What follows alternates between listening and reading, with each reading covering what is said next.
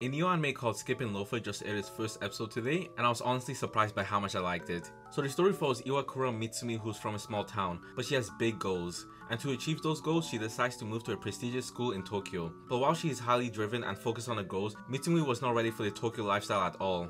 Like on the first day, she mixes up which train she's supposed to go on to get to school, and she ends up lost. But lucky for her, she bumps into another student from her school called Shima, and he helps her get to school in this hilarious running scene that had me dying. And there's a bunch more scenes in this episode that had me dying of laughter. Like there's a scene of her throwing up after a speech that had me dying, or the ending where she doesn't get enough sleep at all and she ends up just looking like a zombie next morning. So many things in this episode just had me dying, it was just so much fun. If you haven't already, I highly recommend you watch the first episode of Skip and Loafer, it's so good.